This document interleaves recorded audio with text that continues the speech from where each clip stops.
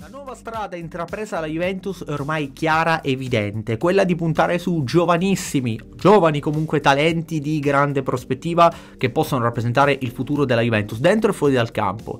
Ecco che, secondo calciomercato.com, ci sarebbe stato un incontro, una trattativa in realtà ben avviata tra la Juventus e un giocatore che potrebbe rappresentare un po' la nuova visione della Juventus, quella che si avvicina ai, ai Kenan ecco per intenderci. Scopriamo il dettaglio di che si tratta qui su FCM News Sport, che come sempre vi ricordo essere eh, uno dei pochi canali sulla piattaforma a essere totalmente gratuito. Non vi costa semplicemente nulla iscrivervi al canale e soprattutto lasciare like ai contenuti perché ci aiutare nello sviluppo di nuovi servizi. Ovviamente vi ricordo qui sotto c'è la sezione dedicata ai commenti per dire la vostra vari, sulle varie tematiche. Allora, lo stiamo vedendo, la Juventus ha eh, chiaro, l'obiettivo è quello, cioè puntare sui giovani. Stiamo vedendo che oggi la Juventus con lo stop del decreto crescita è quella che perde di meno, perché tutti gli altri club devono, se hanno una necessità, intervenire sul mercato inevitabilmente, se il mercato è chiuso attraverso i parametri zero, quindi che puoi prendere istantaneamente, se il mercato è aperto attraverso degli acquisti, la Juventus invece ha un'arma, che è quella della next gen. Quando sei in difficoltà e hai bisogno di inserire dei giovani ma che siano già di livello per la tua squadra, ecco che puoi attingere alla next gen.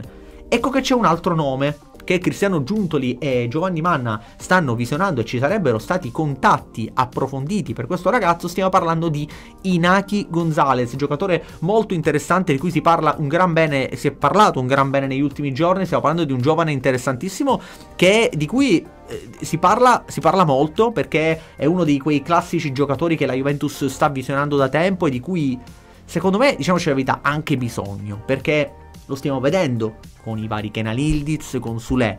Questi ragazzi, quando sono forti, possono essere inseriti con facilità e istantaneamente. È un giocatore della Spalmas, stiamo parlando di un centrocampista classe 2004, molto interessante, eh, di una buona struttura fisica perché alto 1,85 e riesce a abbinare bene quantità e qualità, stiamo parlando di un ragazzo molto giovane e ehm, è un destro naturale che riesce a abbinare bene le due fasi, quella della, eh, della, della costruzione ma anche quella dell'inserimento senza pallone. Insomma, stiamo parlando di un giocatore che è veramente intrigante. Eh, tra l'altro ha già fatto il suo esordio in Liga, quindi stiamo parlando di un ragazzo giovane ma non giovanissimo, cioè non, è, non ha 16 anni, è un classe 2004, quindi parliamo di uno che ha già esordito in Liga eh, contro il Villarreal, parliamo di ehm, uno che ha quei tempi di inserimento e quella propensione al gol che ha, lo ha già spinto nel calcio che conta. È uno, quei, è uno, di quei, profili che intriga fin da subito perché ha le caratteristiche giuste per poter insomma far bene in un centrocampo come quello secondo me della Juventus. Di fatto eh, è un giocatore che intriga molto anche perché è in scadenza di contratto e quindi eh, fa parte dell'agenzia SIAA che è un'agenzia con cui la Juventus ha buonissimi rapporti e quindi la Juventus potrebbe approfittare anche di questo aspetto per approfondire questo tipo di prospettiva.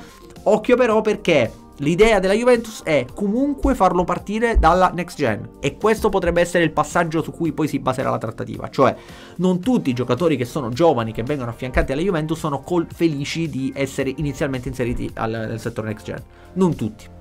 Ci sono quelli che lo accettano di buon grado perché capiscono che è un percorso di crescita che ti serve, un po' come fatto con i Kenan Hildiz, con i Healing e compagnia, o con i Sule. Ci sono quelli che dicono no, ma io mi sento già pronto, andiamo subito in prima squadra. Non sempre questo è possibile, non sempre questo è realizzabile, quindi staremo a vedere se queste, queste due esigenze si possono andare a, a collimare, cioè la volontà del ragazzo di arrivare subito, ma o in prima squadra o in next gen. Ci sono delle riflessioni in corso, ma i contatti ci sono stati, sono stati ravvicinati, giunto e incontrato la gente del ragazzo e ha già detto al, uh, appunto alla gente di essere interessato all'acquisto di questo ragazzo che andrebbe a rinforzare ancora di più quello che è il settore giovanile della Juventus. Abbiamo visto ad esempio che da poco è arrivato Azic, un altro giocatore che da questo punto di vista è molto interessante, molto ehm, futuribile.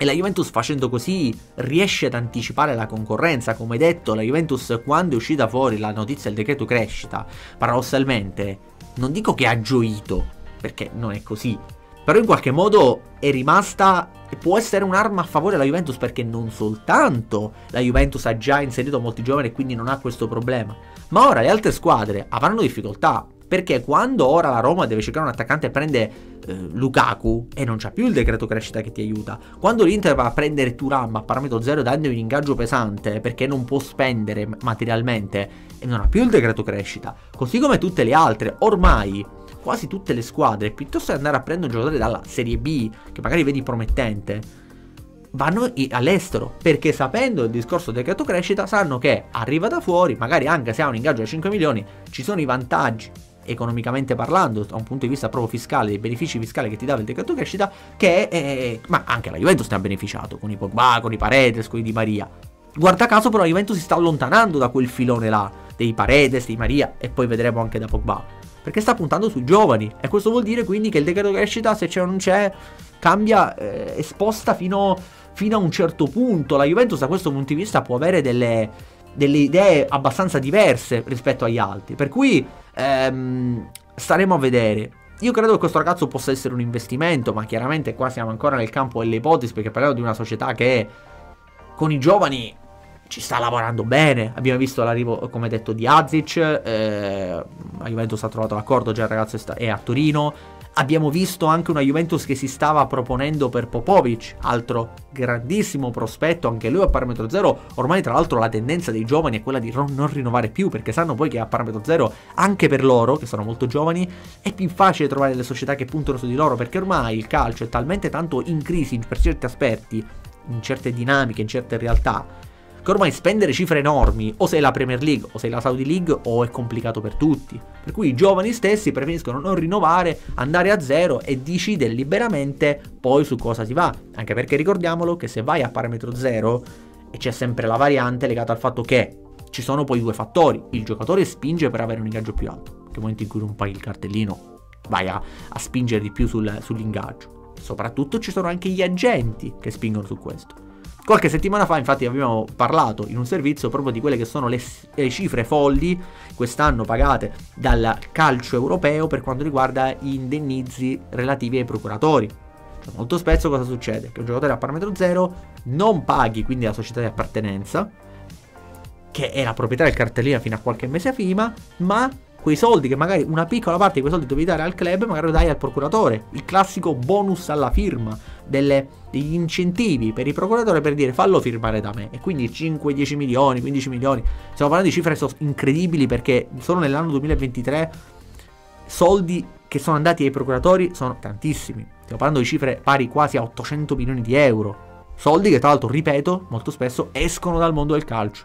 Perché non sono all'interno dei club. La Juventus non paga 10 milioni al, eh, al, Sassuolo, quindi rientrano sempre al sistema calcio, ma escono, perché andando ai procuratori escono al sistema calcio, poi quei soldi il calcio non li vede più. Per cui ehm, staremo a vedere questo ragazzo anche lui scadenza, quindi anche lui fa parte di quel team di giocatori che Giunto li sta seguendo perché era una squadra per il futuro interessante. Staremo a vedere se sarà così, staremo a vedere se, se questo ragazzo, Inaki Gonzalez, potrà diventare anche lui un calciatore della Juventus che poi in futuro potrà magari fare la fine di Sule, quindi mandato in prestito poi in una squadra di, di, di Serie A e vedere che fine farà, oppure di Ildiz, che stiamo vedendo tutti, è davvero un futuro campione.